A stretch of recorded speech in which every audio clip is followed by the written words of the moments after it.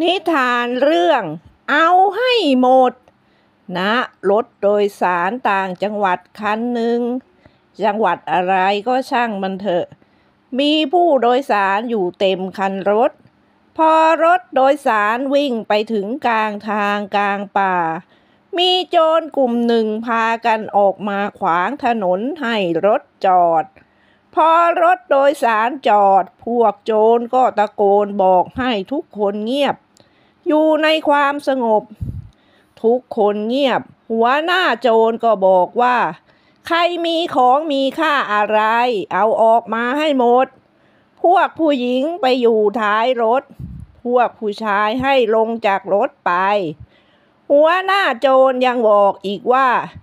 วันนี้ข้าจะเอาผู้หญิงทุกคนบนรถเป็นเมียข้าให้หมด ใครขัดขืนตาย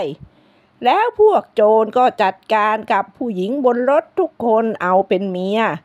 แล้วช่วยกันเก็บของมีค่าไปจนหมด เหลือยายแก่ๆอยู่คนหนึ่ง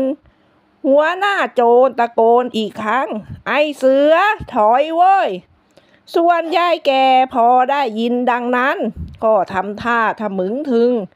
วิ่งตามพวกโจรออกไปด้วยท่าทางที่โกรธมาก แล้วร้องออกไปว่า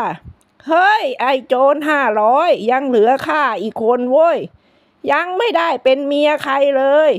ข้าว่าแล้ว ไม่มีสัจจะในหมู่โจรจริง ๆ บอกจะเอาทุกคนเป็นเมียให้หมด เหลือข้าไว้ทำไมวะ กลับมาก่อนโว้ย นิทานเรื่องนี้สอนให้รู้ว่า หากไม่รักษาคำพูดหรือไม่รักษาวาจาสัตว์ จะถูกกล่าวหาว่าเป็นโจร เพราะสัจจะไม่มีในหมู่โจร